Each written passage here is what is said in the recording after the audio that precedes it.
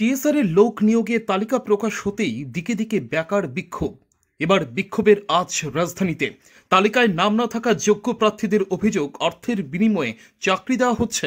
এ নিয়ে সরগরম রাজ্য।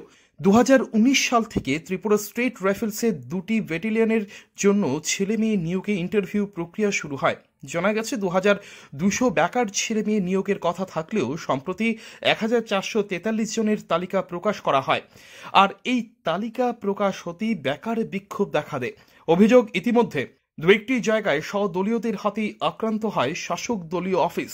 বুধবার বেকার ক্ষোভের আজ এসে পড়ে আগরতলায়। বেকাররা এদিন উচ্চ আদালতের সামনে রাস্তায় এসে জড়ো হয়। তাদের অভিযোগ, যোগ্যদের নাম নেই তালিকায়। শুধু তাই নয়, তারা গুরুতর অভিযোগ তুলে। তাদের অভিযোগ অর্থের বিনিময়ে এই চাকরি দেওয়া হচ্ছে।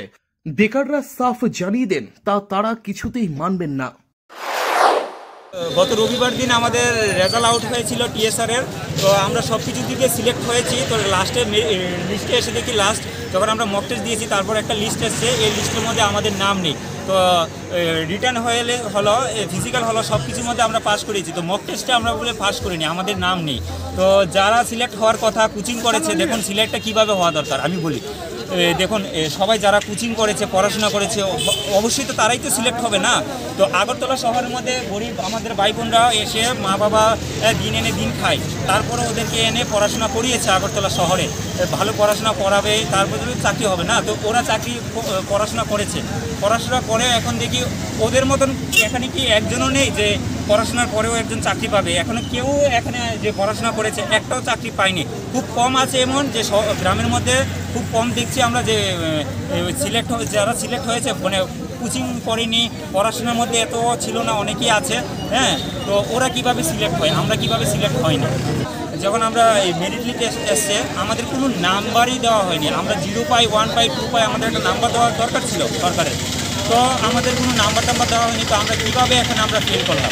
এখন আপনারা কি চান?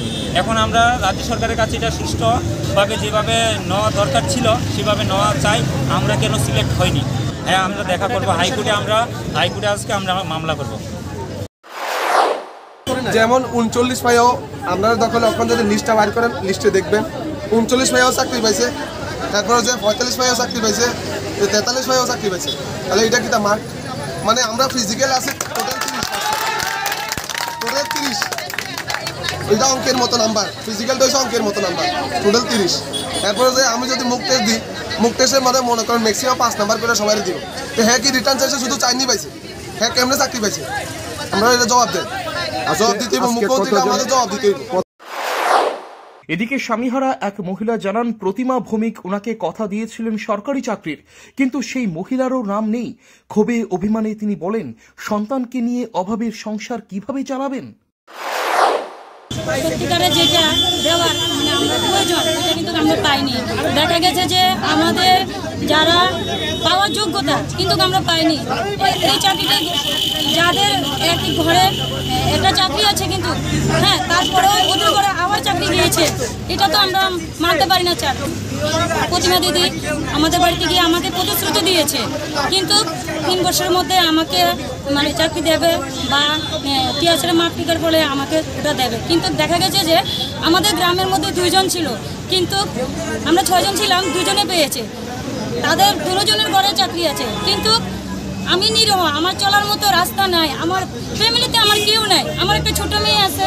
দেখুন স্যার, আমি কি নিয়ে কি নিয়ে থাকব, কি করে থাকব? আমার মেয়েকে, আমার মেয়ের ভবিষ্যৎটা কে দেখবে? এদিকে বেকারদের জড়ো হওয়ার খবর পেয়ে ঘটনাস্থলে ছুটে যায় বিশাল পুলিশ ও টিএসআর। বছরে পঞ্চাশ হাজার বেকারের চাকরির প্রতিশ্রুতি দিয়ে ক্ষমতায় আসা বিজেপি সরকারের সময়ে বেকাররা হতাশ, নেই চাকরি। এবার যাও টিএসআর এর নিয়োগ হওয়ার কথা সেখানেও বেকারদের তরফে উঠে এলো এক গুচ্ছ অভিযোগ। অথচ ক্ষমতায় বসে তথাকথিত স্বচ্ছ নিয়োগ নীতির বুলি আউড়েছেন শাসক দলের নেতামন্ত্রীরা রিপোর্ট, চ্যানেল দিন রাত।